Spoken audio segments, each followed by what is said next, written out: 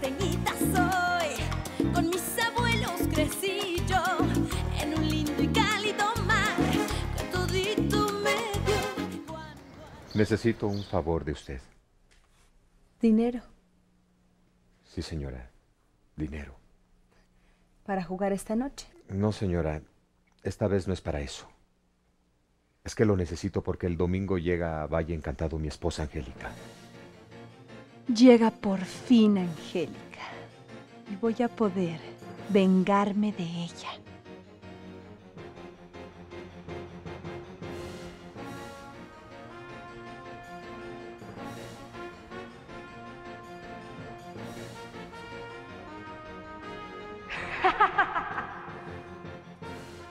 ¿Puede prestarme el dinero? ¿Ya debe usted mucho al club? Sí, es cierto. Pero es muy importante para mí tener dinero ahora que mi esposa y mi hijo vienen. Le ruego que me lo preste. Sí. Sí se lo prestaré. Pero tiene usted que darme ya un aval que garantice el pago total de su deuda. Estoy dispuesto a firmar lo que sea. Lo que sea. Sí, señora. Tengo entendido que tiene usted una hacienda en México. ¿Es cierto? Sí, es cierto. Bien. Puedo darle todo el dinero que usted necesite si lo avala con las escrituras de su hacienda. De veras que la Marimar es rete buena cuatezona. Mira que acordarse de mí ahora que está en sus buenos tiempos. Ah, bien dicen que en la cárcel y en la enfermedad se conocen a los amigos. Aunque ella me conoció en la cárcel, como quien dice. A ver, ¿qué es lo que necesitas? Ay, oh, padrecito, pues tequila. ¿Qué más? Puritito tequila.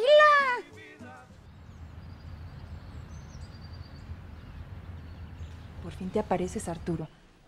Creí que ya me habías olvidado. No es eso. Es que tú sabes que no paso a Esteban, ni él a mí. ¿Y para qué exponerme?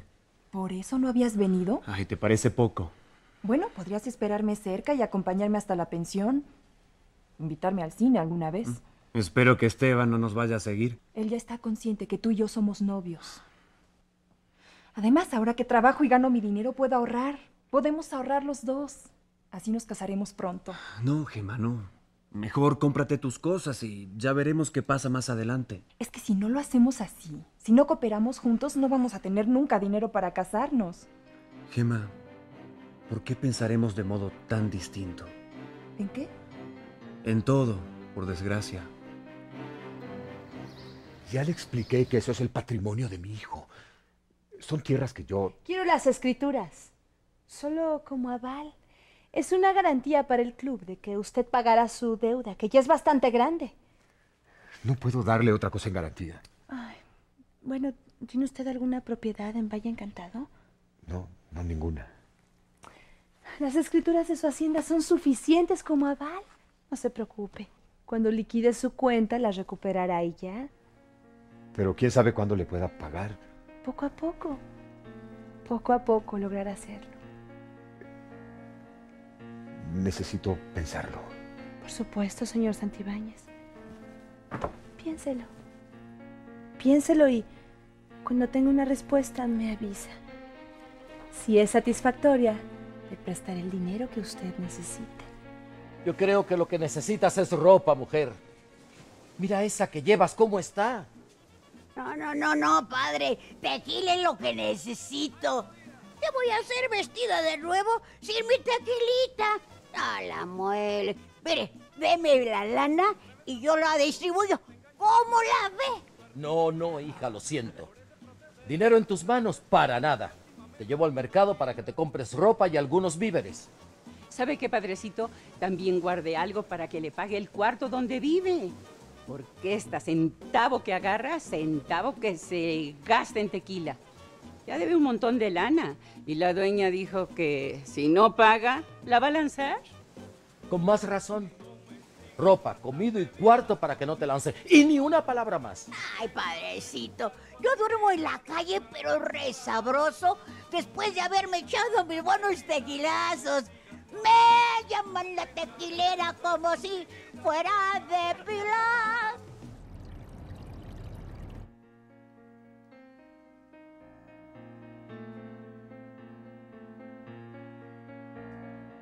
Puedo darle todo el dinero que usted necesite si lo avala con las escrituras de su hacienda.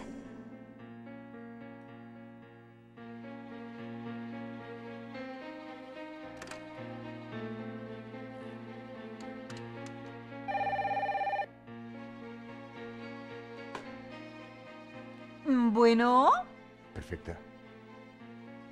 Ya sabes quién soy. Avísale a Angélica que quiero hablar con ella. ¿Cómo no? Eh, eh, eh, enseguida.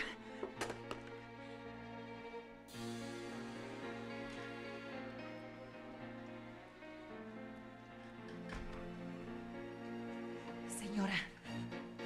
Señora. El señor Renato la llama por teléfono. Bueno, no debes llamarme. Ya sabes que es peligroso. Angélica, es muy importante que traigas contigo las escrituras de la hacienda. ¿Para qué quieres las escrituras? Ahora no te puedo explicar. Entiéndeme, Angélica. Hablaremos luego, aquí. Pero que no se te vayan a olvidar. Las necesito.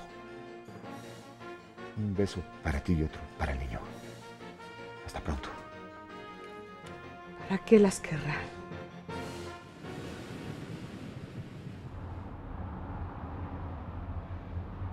Quiero desligarme de Natalia. Pero ¿cómo? No puedo seguir con esa farsa. No me voy a casar con ella. ¿Y eso? Me lo dio Gema. ¿Para qué? Para que ahorremos y podamos casarnos. No te vas a escapar. Ah, sí, cómo no. Bueno, ¿y qué haces tú aquí metido? Yo te hacía paseando con tu futura. Mira, no me hables de eso, que estoy que no me caliente el sol.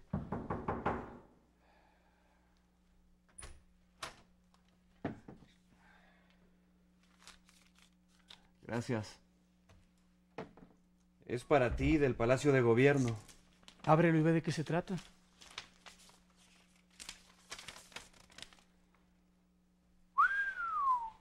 Qué suertudo eres, mano. ¿Qué es? ¿Mm? Adivina. No, ya dime, no seas payaso. Es una nota del gobernador de Valle Encantado. Ya que vas a ser el esposo de su hija, te da a escoger el puesto de importancia que tú quieras en Valle Encantado. Puesto político, claro. ¿Qué te parece?